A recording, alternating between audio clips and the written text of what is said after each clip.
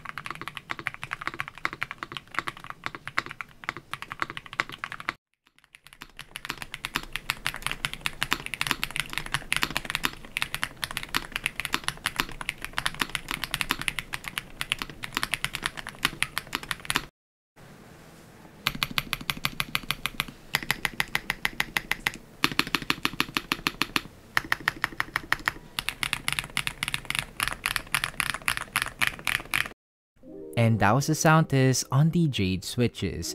Please do let me know on what you think about the switches on the comment section down below and let's have some quick discussions. If you also made it up to this point of the video, I'd like to say thank you for staying and now let's talk about my thoughts and opinion about the Jades. First, let's talk about my thoughts on the feel. Out of the box, the pre-factory lube from Wuque Studios never disappoints as it feels consistent all throughout my typing and I can say that you don't need to worry about adding lube for that smooth out of the box experience. Now, let's talk about the typing experience with that metal thing or the metal insert on the stem. So it's located at the bottom of the stem and with this, every bottom out, I can say it has that metallic feeling every keystrokes or the bottom out and I would say that some may find the bottom out a bit harsh or aggressive due to the metal inserts. I can say that the bottom out feels of it feels a bit more stiffer compared to a normal Switch, but after using this for like a week now, I can say it did add a unique experience when typing, especially when you get used to them. And the switches are really well balanced. I like the springs here. It's on that medium weight side, so the 50 gram actuation and the 60 gram bottom out force. It's not too heavy or not too light for typing. Now let's move on to my thoughts on the sound. Now for the out of the box, it's good. I didn't hear any scratches, leaf crunch, and even spring pings. So for the sound profile, it has that creamy yet a thin clacky sound profile to it. Honestly, I wasn't a fan of this sound profile, but it kind of grew on me as I realized that they do sound unique versus other linears that are out right now, especially on that metal inserts. I wouldn't also say that you will hear that metal insert on the stems or every bottom out as they just sound subtle, so nothing to worry about that in terms of the sound profile affecting the metal inserts. Overall, I would say that these switches are a gem that one needs to find. These switches offer a somewhat unique typing and sound experience to the user. I'm happy that these switches are not just a recolor of the Morandis, and it really has a different it really is a different switch with a new character to it. Now the pricing it's alright. It's on that mid-budget category of a switch but for what you're getting i would say it's worth it to try and something to consider in terms of a linear switch and that is it for the video guys. I do hope you find the review on the Jades helpful and if you do, please don't forget to like the video to help out the channel grow. I will be reviewing more switches for you and two more boards to cover so stay tuned. Again, don't forget to like the video, share if you want, and of course, subscribe for more. And I'll see you guys on the next sound test. Peace.